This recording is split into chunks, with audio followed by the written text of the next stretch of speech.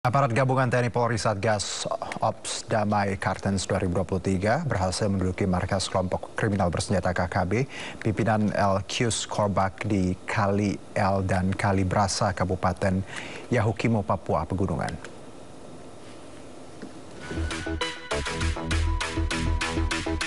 Aparat gabungan TNI dan Polri Satgas Ops Damai Kartens 2023 berhasil menduduki dua markas KKB yaitu markas Kali E dan markas Kali Brasa.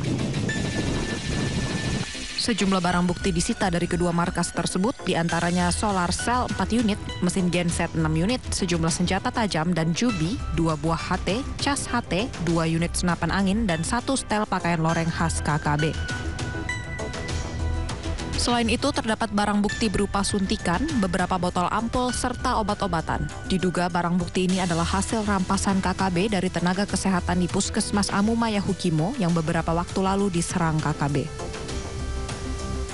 Sejumlah KKB terlihat melarikan diri ke arah gunung dan kami akan terus melakukan pengejaran sampai kapan pun dan di mana ada markas baru maka akan kami lakukan penggempuran. Satgas Damai Kartens 2023 akan terus melakukan upaya penegakan hukum terhadap KKB yang berada di sekitar kota Deka Yahukimo. Dari Jayapura, Freddy Nuboba, iNews melaporkan.